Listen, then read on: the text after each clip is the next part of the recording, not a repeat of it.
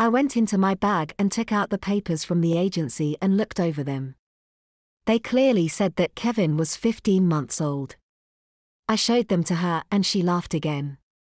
Well, he is small for his age, but not that small. Mom. Stop talking about me like I'm not here. Kevin spoke up for the first time. I'm sorry, sweetie. His mom said with a wicked little grin. Kevin, let me introduce Carolyn. She might be staying with you this summer while I'm out of the country. Carolyn, this is my little boy Kevin.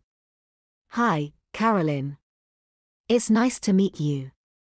Mom can be so weird. Sorry about not coming down to meet you, but the medicine really makes me tired. It's okay, I said, I understand. You get your rest, Kevin, Carolyn and I need to talk. Mrs. O'Neil said. I'll see you at dinner, she added as she kissed him on his forehead. He squirmed but smiled as she did this. I think you might have a fever, I'll be back in a little bit to take your temperature. We went back to the living room and Mrs. O'Neil laughed. Well, I can see Kevin isn't what you were expecting.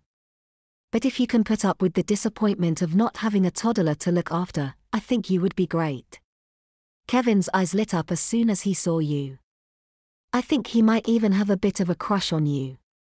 I thought for a moment and then I said that I'd love to do it. Great, now let me tell you a bit about the care and feeding of Kevin O'Neil.